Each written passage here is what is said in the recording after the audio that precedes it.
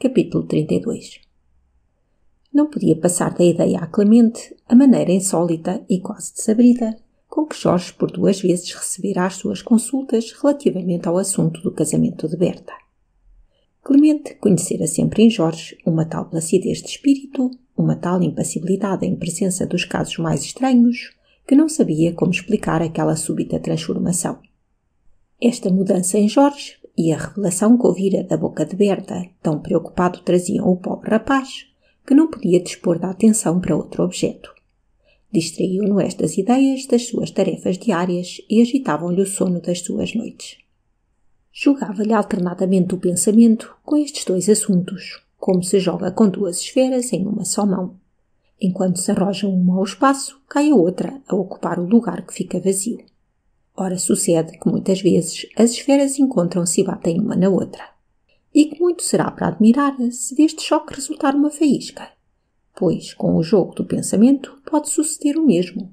De duas ideias que se encontram, à força de se cruzarem muitas vezes no cérebro, pode sair um clarão. Este fenómeno sucedeu com Clemente. Pensava ele uma noite no seu leito.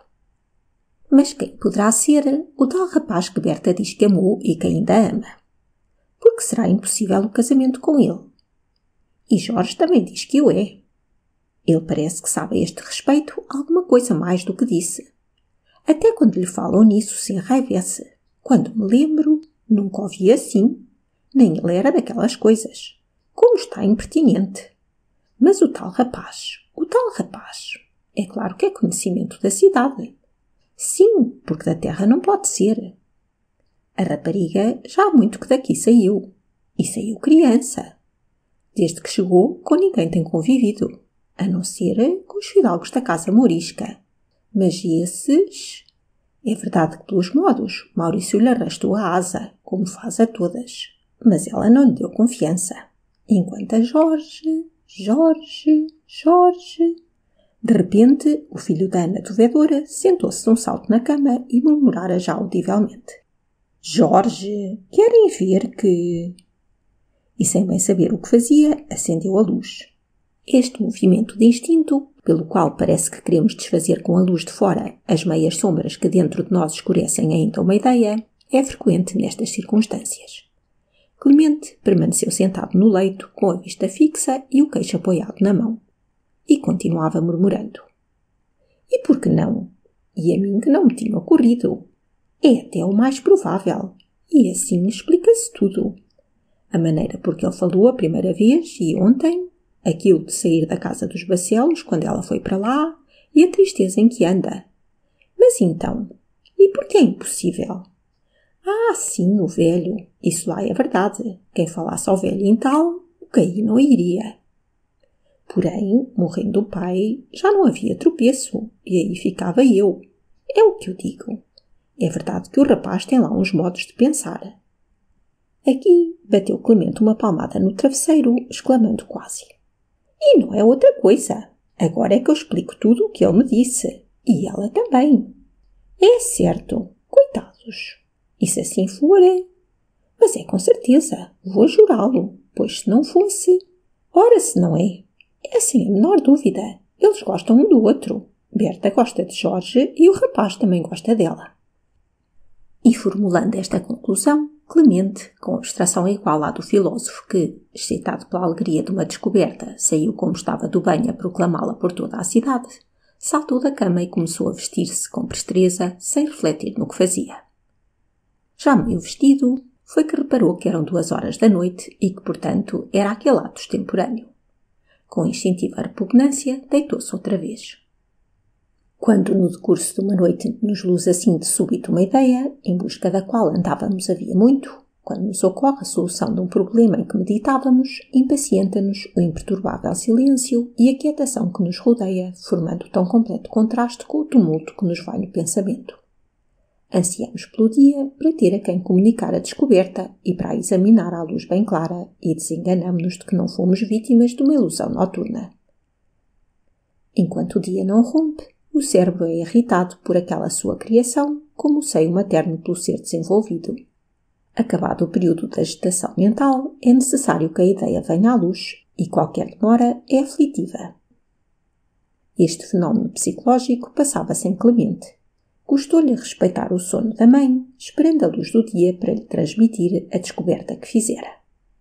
O resto da noite passou revolvendo-se e revolvendo-se na cama, sem poder dormir. Era quase um estado febril o seu. Incomodaram a ideia de que a sua pretensão à aliança com Berta era o motivo da tristeza de Jorge e que, sem o saber, foi ele o importuno despertador daquele sonho em que se embalavam ambos, deixando-se amar, sem pensarem no futuro do amor a que cediam. Sonhos irrealizáveis, embora, porém Clemente não queria ter sido quem os acordou. Antemanhã, quando ainda a estrela d'alva despedia próxima do horizonte as suas últimas cintilações, Clemente deixou finalmente o leito, onde não encontrara repouso, e foi passear para o campo contíguo à casa, aguardando o despertar da mãe. Ana do Vedor era matinal e por isso Clemente não esperou muito. Efetivamente, a vidraça do quarto em que dormia a robusta matrona abriu-se e ela bradou de fora para o filho. Que força de serviço foi essa que testemunhou, rapaz? Sume-te! Mal luzia ao buraco e tu já assarilhares por essa casa. Levantei-me um bocadito mais cedo e vim espairecer até aqui. Qual história? Então cuidas tu, que te não senti toda a santa noite? Oh rapaz, olha que isto não vai agradando. Aquele maldito empate do casamento. Ora a Deus, bem se trata agora disso. Pois que outra coisa há de ser. Quer que lhe o diga. Faça vosso mercê favor de chegar aqui abaixo e conversaremos. Olá, a coisa é séria. Temos história, é o que te digo. E saindo da janela e descendo as escadas para ir ter com o filho ao quintal, a boa Ana ia dizendo para si: o rapaz anda esquisito. Que me quererá ele? É coisa que lhe dá freima. Na cara se vê. Queira Deus que não tenhamos por aí alguma alhada. O diacho do casamento. E chegado ao quintal, onde aguardava o filho, exclamou: Ora, aqui me tens. Vamos lá ouvir isso que tens para me contar. Desabafa lá, que isto de guardar cada um as coisas consigo não é bom. Vá! Ora, venha para aqui, minha mãe, disse Clemente, chamando-a para um banco de madeira por baixo de um parreiral. Mas havia-te, filho, que eu tenho que fazer lá dentro. Já sei que me vais falar no casamento. É verdade, vou falar-lhe no casamento que se não faz. Que se não faz, repetiu Ana, dando um salto e fitando no filho os olhos espantados. Tu que dizes? Isso mesmo que entendeu, que se não faz. Então, por que é que se não há de fazer? Porque pensei melhor Ora, vai pensar para os quintos. Olha agora. Viu-se já um disparate assim? Pensaste melhor em quê e porquê?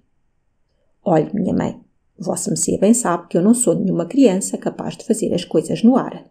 E por isso, eu que lhe digo que o tal casamento não deve fazer-se é porque. E então, criança sou eu, para que tu nem sequer me dares a importância de me dizeres o porquê. Olha que o teu pai, até bem velho, se aconselhou comigo, apesar de ser homem enjuizado, e não tenho lembrança de o haver feito nunca arrepender por isso. Olha agora! Pois também eu lhe tirei tudo, mas é se vir a mãe mais bem disposta a ouvir-me com sossego. Parece-te que eu estou desassossegada. Ora, valha-te, não sei que diga. Em piores talas me tenho visto na minha vida, sem perder a cabeça. Boa mulher estava eu se me estonteava assim à primeira. Olha agora! Anda, diz lá. Pois, minha mãe, este casamento não tem lugar porque Berta, enfim. Ana do Vedor franziu o sobrolho. Berta o quê? Que disse ela? Disse que não. Olha a presumida. Então quem acha ela que é? Sempre se vêem coisas no mundo. Olha agora. Então ela disse que. Ó oh, senhores, não estar eu lá. Sempre queria perguntar-lhe Valha-me Deus, minha mãe, é essa a paciência que me prometeu? Nem me deixa concluir, nem esperar por saber o que vou dizer. É porque eu cuidei que ela. Sim, por isso então. Ouça, Berta aceita, mas não tem verdadeira inclinação para mim. E por que não? Clemente sorriu ao ouvir a pergunta. Ora, essa, tornou ele brandamente. Então nestas coisas precisa-se de dar razões. Gosta-se porque se gosta, não se gosta porque se não gosta e acabou-se. Mas enfim, uma pessoa sempre diz: não gosto daquele porque é feio, daquele porque é torto, ou porque é aleijado, ou porque tem mau gênio, e por isto ou por aquilo. Eu sei lá.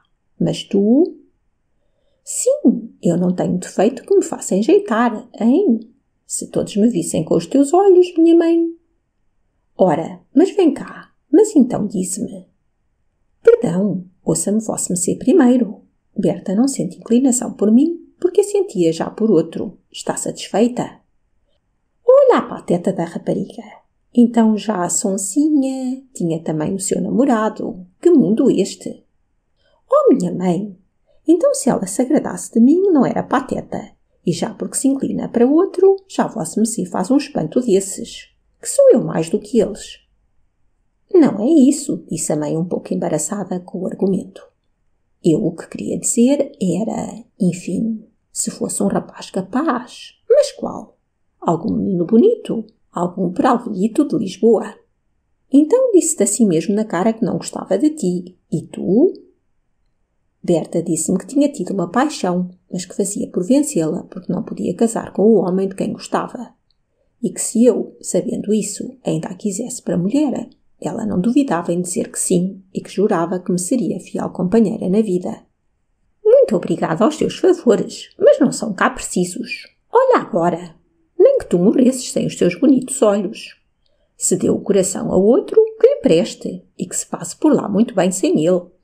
Olha agora! Como quem diz: Enfim, eu não gosto de ti, mas vejo-te tão embeiçado que me metes pena. Graças a Deus, não faltam por aí mulheres com quem cases, e se faltassem, também vivias bem sem elas. Que, Deus louvado, não te falta de comer, que é o essencial. Olha agora! Não, que eu nunca vi umas lambidas como agora há. Aquele tomé é quem tem a culpa. Oh, minha mãe! Já estou arrependido de lhe ter falado nisto. Olhem o escarcel que aí está levantando. Oh filho, isto é um modo de falar. A gente faz cá os teus votos de razão. Mas vamos ao caso. Tu disseste-lhe logo que passavas regaladamente sem os teus obsequios? Está entendido. Fizeste muito bem e está acabado. Não disse, não, senhora. Não lhe disse isso logo. Não, pois isso é que eu não esperava de ti. Pedi-lhe tempo para pensar. Eu o que queria era saber quem era o tal, para ver se de fato o casamento seria impossível, porque se visse que o era, casava eu, isso casava. O que não queria era vir a ser tropeço algum dia. E daí? E daí tanto pensei, tanto parafusei, que esta noite dei com a história. E então, algum jornal tinha da cidade? Sabe o que lhe digo, minha mãe? É que o caso é bastante sério. E agora o que me dá cuidado não é o meu casamento, e esse já eu sei que se não faz. O que me dá cuidado são eles. Eles quem? A Berta e o rapaz de quem ela gosta. E que é, sabe quem? O filho mais velho do Fidalgo, Jorge.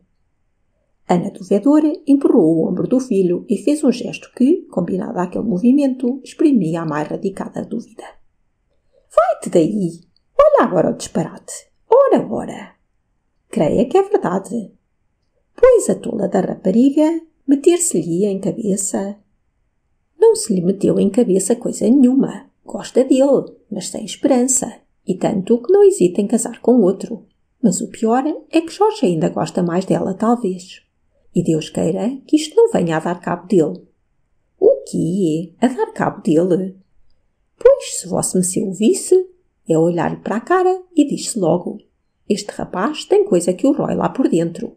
Eu não suspeitava o que fosse, mas agora que pensei. Mas como é que tu viestes a saber isso? Clemente contou à mãe as entrevistas que tivera com Jorge e a maneira estranha por que ele o recebera, a irritação com que o ouvira falar em Berta, a singularidade das reflexões que lhe fez e dos conselhos que lhe deu, e a Ana do Vedor acabou por convencer-se de que o filho acertara.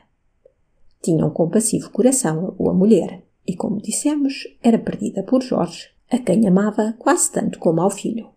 Por isso, tomou logo o partido dele e exclamou: Mas então, por que não há desse rapaz de casar com a pequena se gosta assim dela? E o pai? O velho? Isso lá é verdade. O fidalgo é perro, mas é Deus. Primeiro está o gosto de cada um, e quando o amor é de raiz, tolice é querer arrancá-lo. E depois de curta meditação acrescentava: Mas vejam como o demónio as arma. Aquele rapaz, que parecia nem sequer pensar em que havia raparigas neste mundo, deixar-se logo em pensar por aquela, por a filha do Tomé da herdade, que se o fidalgo o via por sobre de um filho seu, era para estourar de paixão. Sempre é uma. Oh, Clemente, pois de veras isso será assim? Quase que ia jurá-lo, minha mãe. Quem me dera encontrar o rapaz, que logo lhe pergunto. Não diga isso, minha mãe, ia fazê-la boa. Não conhece ainda o Jorge. Ora, vem tu ensinar-me a conhecê-lo, a mim, que o trouxe a estes peitos, que o ensinei a falar e a andar. Vem cá dizer-me o que ele é. Então, que achas tu? Que ele se zanga comigo? E a mim que me há de importar muito que ele se zangue. Mais me zango eu e veremos quem vence. Olha agora! Mas para que há de ir falar-lhe nisso? Para quê? Pois então tu dizes-me que o rapaz anda a consumir-se e a moer lá consigo essa paixão e queres que eu o deixe assim rebentar? Há lá nada pior do que uma pessoa calar consigo essas coisas que roem lá por dentro. Nada. A boca fez-se para falar e para a gente desabafar as suas melancolias. Mas se a mãe lhe pudesse dar remédio. E que cuidas tu? Pois parece-te que se eu visse que o rapaz que se me definhava por causa disto, que não tinha alma para ir ter com o fidalgo e dizer-lhe as coisas como elas são. Então já vejo que tu estás muito enganado com a tua mãe. Nada não. Era melhor deixar morrer aquele rapaz, que é a pérola dos rapazes, aquele rapaz que eu criei e que há de ser e já é a honra da família. Pois sim, não que eu sou mesmo mulher para o deixar morrer assim. Havia de valer-lhe bem, o fidalgo está mesmo agora à espera dos seus conselhos. Não estará, mas olha que, duro como é, já não era a primeira vez que eu me vinha com ele e sem ele levar a melhor. No tempo da senhora, que era um anjo, Deus a chame lá, ainda mais força de gênio tinha ele e fazia a chorar sangue e água pelo muito que lhe perseguia o irmão. A pobre criatura doente e ele sem querer saber que ela recebesse as cartas que o irmão lhe escrevia, nem deixava saber notícias dele. Eu, um dia, dei com o fidalgo no corredor e disse-lhe: Ó oh, senhor Dom Luís, olhe que Vossa Excelência anda a fazer com que se rale de remorsos toda a sua vida por deixar morrer a senhora assim a estalar de saudades e aflições. Veja bem, Vossa Excelência, que estas coisas pagam-se. Foi mesmo assim. E cuidas lá que ele se enfureceu? Qual? Calou-se muito caladinho, e daí por diante a senhora teve notícias amiudadas, e até o jardineiro mais tarde foi para casa e ainda lá está. Então já vês? Pois sim, mas o caso agora é mais difícil. Deixa-o ser, mas também o homem está mais quebrado. Tenha cuidado, minha mãe. Olhe lá se não vai fazer alguma das suas.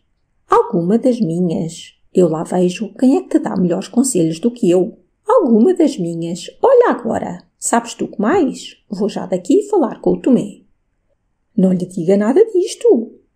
Ora, não querem ver a bonita cabeça que tem este rapaz? Está o casamento tratado. Resolve-se agora não casar e nada de falar nisto ao pai da rapariga. Sim, que o Tomé é mesmo homem com quem se brinque e se contente com meias razões. O que quer dizer é que não ponha a boca em Jorge. Deixa-me cá. Sabes o que te digo? É que eu não sou mulher de planos. Ao sair de casa para procurar alguém, não penso no que lhe hei de dizer e no que hei de calar. Quando as palavras me vêm à boca, deixo-as sair e não quero saber de contos. Mas vamos ao almoço, que são horas. Ora, o Jorge, o Jorge, para o que lhe havia de dar? E o diacho da rapariga se apanha aquilo. Olha, eu não duvido, porque já há muito tempo para mim que o Tomé nasceu num fole. Ora, o diacho! Boa pequena é ela, coitadita, ainda que não andou muito bem contigo. Não, mas... A mãe e o filho almoçaram, conversando sempre sobre o assunto, e Clemente tentando combater a resolução que percebia na mãe de cumprir o que anunciara. Ana do Vedora, depois do almoço, deu as suas ordens e saiu. Ela falara a verdade. Ao sair, não formara plano de conduta, mas instintivamente dirigiu-se para a herdade. O caso de Jorge não lhe saía da ideia. Fim do capítulo 32